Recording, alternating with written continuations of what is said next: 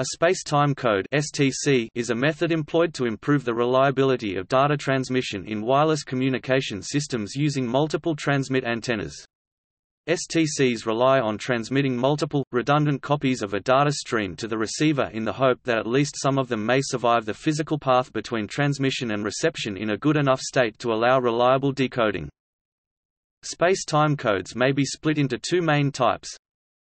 Space-time trellis codes STTCs distribute a trellis code over multiple antennas and multiple time slots and provide both coding gain and diversity gain.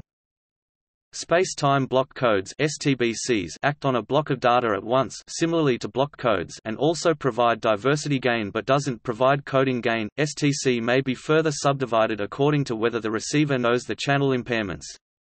In coherent STC, the receiver knows the channel impairments through training or some other form of estimation. These codes have been studied more widely, and division algebras over number fields have now become the standard tool for constructing such codes. In noncoherent STC the receiver does not know the channel impairments but knows the statistics of the channel. In differential space-time codes neither the channel nor the statistics of the channel are available.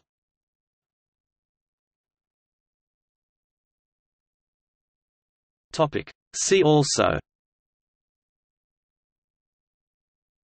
Diversity scheme, the concept from which STC arose.